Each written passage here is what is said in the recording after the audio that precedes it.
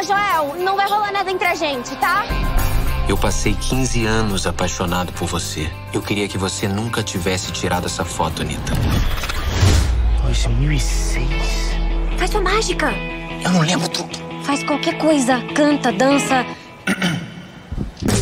Não é sobre ter todas as pessoas do mundo pra si. É sobre saber que em algum lugar alguém zela por ti. Ele tá recitando trem bala? Você também viajou no tempo.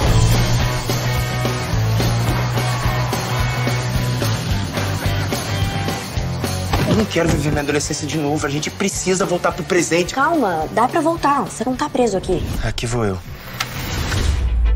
Anitta, pode me explicar o que tá acontecendo? Parece que a gente tá conectado agora. Se você viaja no tempo, eu também viajo no tempo. Cada coisinha que você faz aqui causa um furacão lá no futuro. Gente, é impossível a vida ser pior do que isso aqui. Tal então a gente brindar o fato de que tá todo mundo na mesma.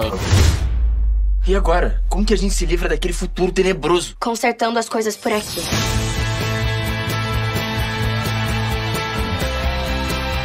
Parece que eu tô me vendo pela primeira vez, sabe?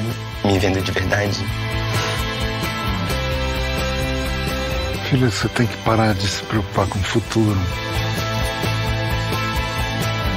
Mas você não vai encontrar a resposta pra essa dor que você tá sentindo fugindo. Tá madura pra 15 anos, né? É porque eu tenho 30, na verdade.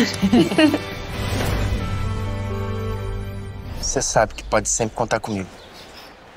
eu sei, meu parceiro viajante no tempo.